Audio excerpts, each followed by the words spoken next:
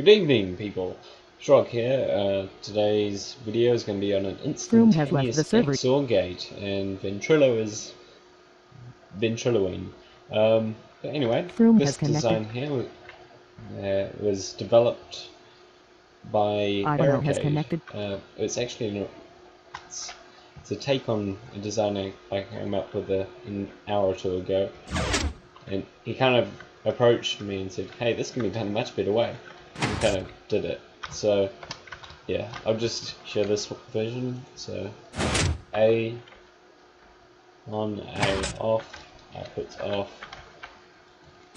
B on, outputs on, A and B on, outputs off. Ivanhoe has left You the can- server. Um, it is inverted, so you actually, um, yeah. So no matter what, it works. I like it inverted because then it's truly instant.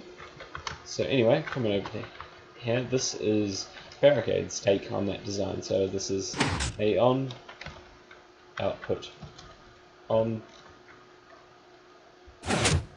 B on, output on, A and B on, output off. Um, how it's done is quite simply three pistons, this shape, um, which I'll just build one for you right here. So, kind of build this pattern, s- stick um, wool there, put a torch there, clock here, bring it down, and around, and place a block on top of that wire right there. So now this mixes Amor the two L171 connections has and you've got an connected. output.